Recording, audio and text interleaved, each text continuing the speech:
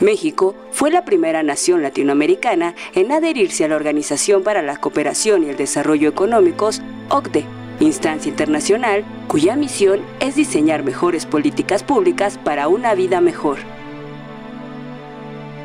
El 18 de mayo de 1994, México fue invitado a integrarse a la OCDE, convirtiéndose en el miembro número 25 de la organización lo cual se oficializó mediante decreto que fue publicado en el Diario Oficial de la Federación el 5 de julio de 1994.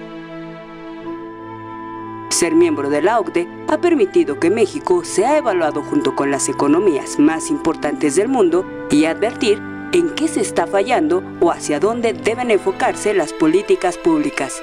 Por otro lado, la presencia de México en la OCDE ha impulsado la comunicación entre los países industrializados y los países en desarrollo, en especial con los miembros de Latinoamérica.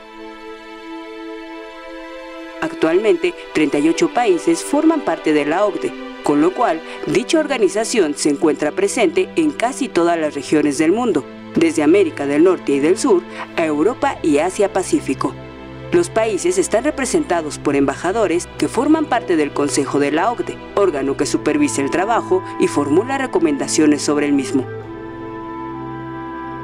El Senado mexicano, a través del Centro de Estudios Internacionales Gilberto Bosques, ha colaborado con la Organización para la Cooperación y el Desarrollo Económicos desde septiembre del 2020. Dicha colaboración se lleva a cabo por medio de foros en los que se ha discutido una gran variedad de temas alrededor de las agendas de ambas instituciones, entre los que destacan economía, salud y educación.